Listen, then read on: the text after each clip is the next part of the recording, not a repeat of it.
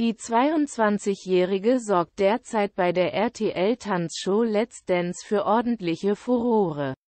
In der Kennenlernshow zum Auftakt der neuen Staffel gewann sie prompt die Wildcard und war somit vor dem Rauswurf in der Folgewoche geschützt. In den ersten beiden regulären Shows erhielt sie mit ihrem Tanzpartner Valentin Lusin, 35, von der Jury jeweils die höchste Gesamtpunktzahl im Vergleich zu den restlichen Teilnehmern. Einzig Turnstar Philipp Boy, 35, konnte der rothaarigen Schönheit am Freitag erstmals das Wasser reichen und nach Punkten 29 mit der 22 in ihrer aktuellen Podcast-Folge von Die Pochers kamen Olli und seine Ehefrau Amira Pocher, 30, nun auch auf die aktuelle Staffel zu sprechen.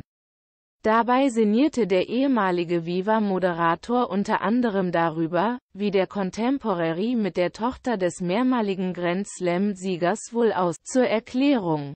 Bei diesem Tanz müssen die Kandidatinnen und Kandidaten häufig ihre Biografien oder einschneidende Erlebnisse aus ihrem Leben anhand einer ausgeklügelten Tanzchoreografie ausdrücken.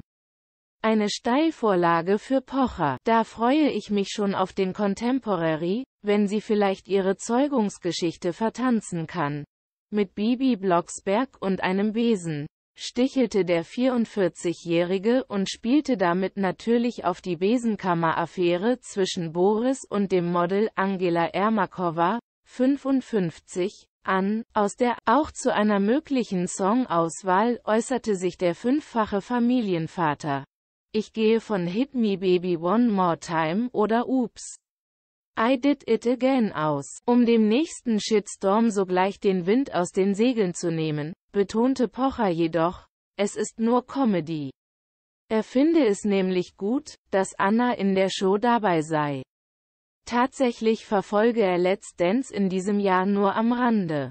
Dies würde vor allem daran liegen, dass in der Vergangenheit immer jemand dabei gewesen sei, für den er Interesse gehabt habe. Dazu zähle natürlich seine Frau Amira oder auch Ilka Bessin, 51. Er selbst wirkte ebenfalls schon mit. Ich habe mitbekommen, dass dort sehr viel Mittelmaß bis unter Durchschnitt ist. Gerade mit Abdelkarim, Knossi, Younes ist sehr viel Schatten bei den Jungs dabei. Erstgenannter musste das Format nach schwacher Leistung am Freitag bereits als zweiter Promi verlassen.